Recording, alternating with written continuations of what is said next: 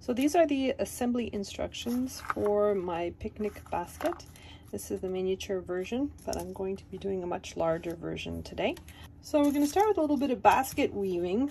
First thing to do is to identify which of these strips go with which part of the basket. So the longest strips that we have are for the lid. We have eight in all and four of them for each lid. And then we have these end pieces. Again, we have four of them for each. The first thing I'm going to do is the basket weave feature on these angled pieces. And the strips that correspond with them have angles at the end and it's to correspond with the angles on the pieces. So I'm going to group my pieces. I have four pieces with four different lengths for both of them. I'm going to take my longest piece and I'm just going to thread it through over then I'm going to go under then I'm going to over under over and then under that last part. And so I have little score lines here and here that tell me where to place my strip.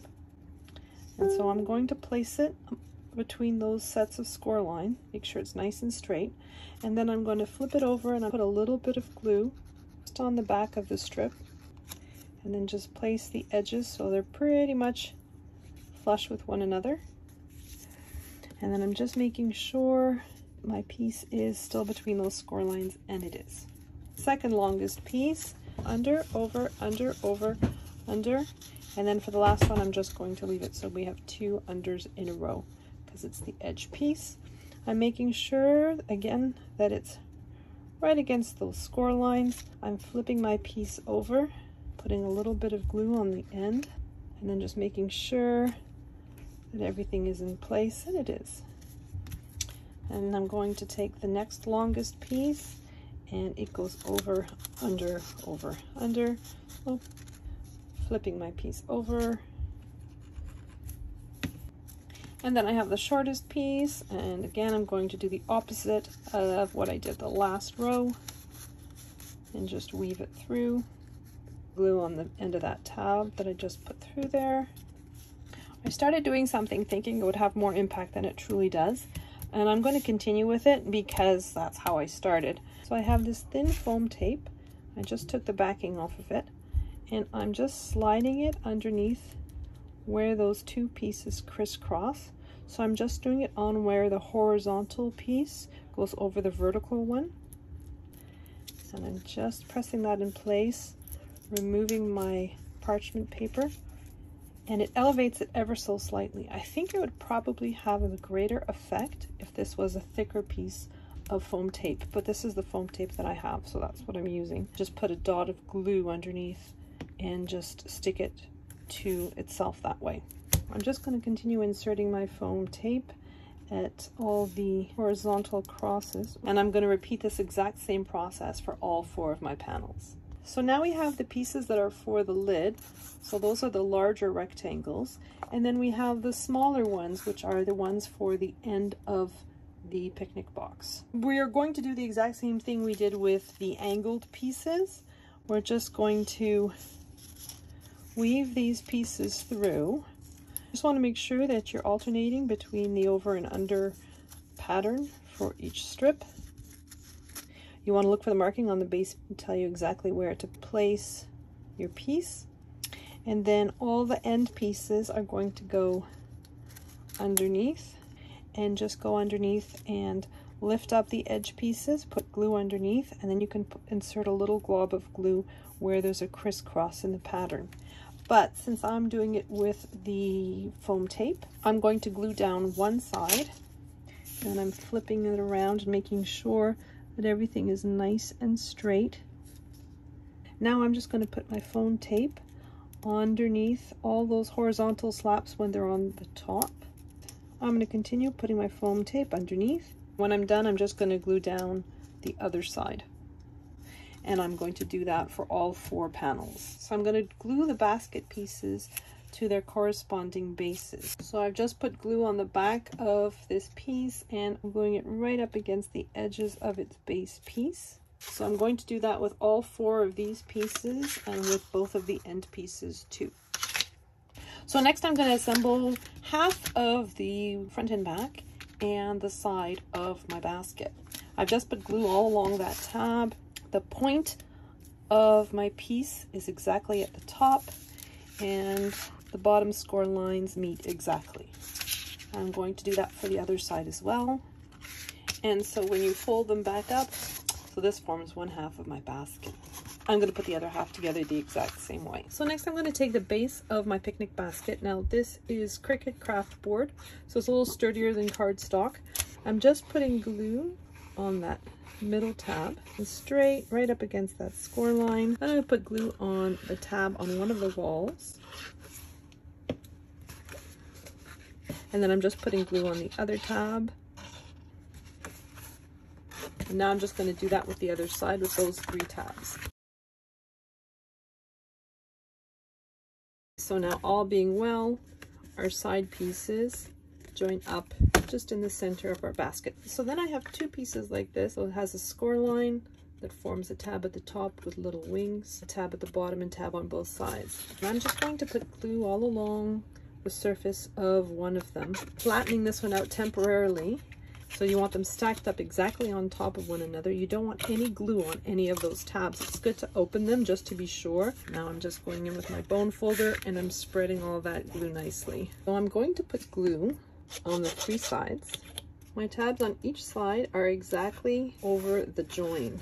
The seam in the two tabs is over my two panels just like so and it's as far down as it will go so I'm making sure that my base piece is glued down to the bottom of my picnic basket so my join is right in the middle of my picnic basket now I have all the decorative pieces for the inside of my basket. I have this red check. I just printed this on 8.5 by 11 cardstock. I have two score lines at the top of most of the pieces. So I've just folded down on both of them and it gives a little bit of a ledge I'm going to start with the bottom of my box and I've just these two squares. They don't have score lines and they just they're just going to get adhered to the bottom of my box like so.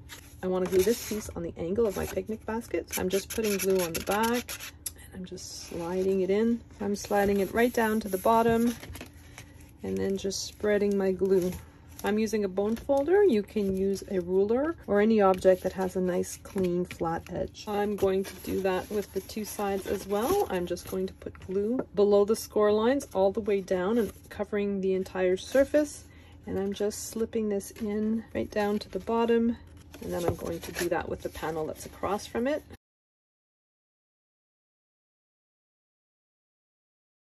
Then I'm going to glue in the panels on the other half the exact same way. I'm going to put foam tape just along the sides here and then glue this down so it has a little bit of dimension to it. So I've placed my foam tape from the edge till about half an inch, a little bit more than half an inch from the other end. And I'm going to do that on both sides.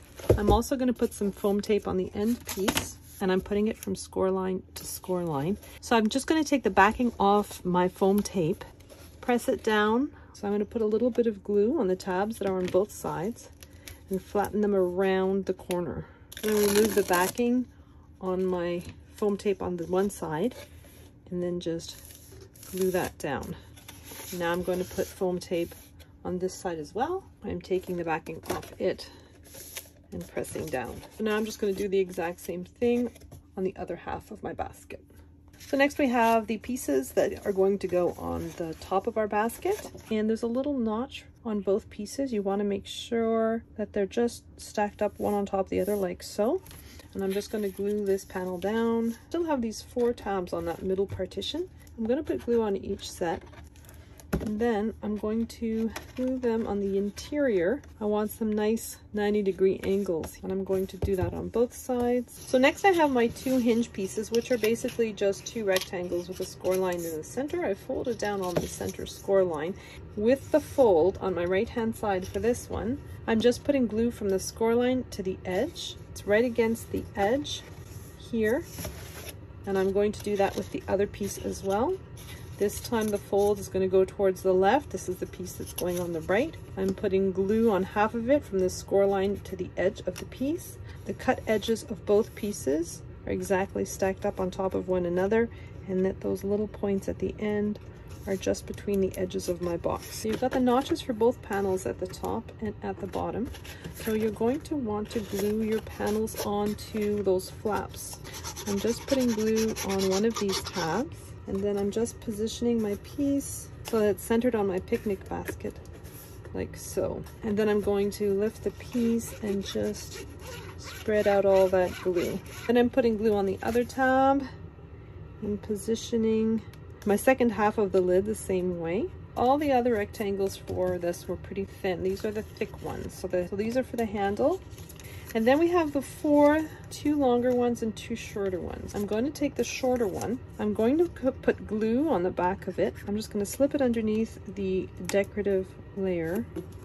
It's positioned between these two bottom pieces and move straight upwards. I'm doing the same thing with the other side. Now for the handle, I have my longest piece and then I have a piece of acetate. Now this is just to add a little bit of strength to my handle. I've got double-sided tape on both sides of my acetate and I'm just sort of working it between my thumb and my forefinger to kind of curve it. I'm taking the longer of the handle pieces, position it so it's more or less centered in my panel. I'm going to take off the second backing and I'm going to put glue all over my piece. My shorter piece is going to go on and I'm just going to position my handle so that it's in between those notches that you see on each side. Okay, so now I'm left with those two longer, thicker strips, putting one on each side of my basket like so. This probably would have been a better thing to put on before the handle went on. I've got the bottom piece that I'm going to adhere to the bottom of my box. So this piece fits just on bottom like so and I'm just going with my bone folder and from the inside I'm just sort of spreading that glue. Next thing I'm working on is these little decorative pieces for the side. From the center you want to fold inwards on the first score line and then between these two sets of holes there is another score line you want to fold so backwards on those and then there's another score line at the very end little tiny thing and you want to fold downwards on that. And so you're going to do that from the other side as well. First score line, we're folding inwards like so. Second score line, folding it back, making sure that those holes are on top of one another. And then I'm folding down on that very last score line. So it should look like this. Got some embroidery floss. You could use any kind of craft cording or thin twine. I'm cutting off about 12 inches. I have a needle. I'm leaving a long tail and I'm threading my needle through the top hole and then through the middle hole on the other side. And then I'm coming up through the bottom hole on the original side. I'm going to do that from the other side as well. I'm coming up in the top hole. I'm bringing it downwards in that middle hole I'm bringing my needle through that bottom hole. A lot like lacing up a sneaker. So now I'm pulling on my little ends. So I'm just making a bow with the two ends to put glue on the back. So I'm putting it on both of those thin little tabs on both sides and all the way along the back. So I'm positioning this piece so that it's centered over that handle. I've got my edges are even with the flap. And then I'm going to do the exact same thing on the other side. And there we have it my picnic basket.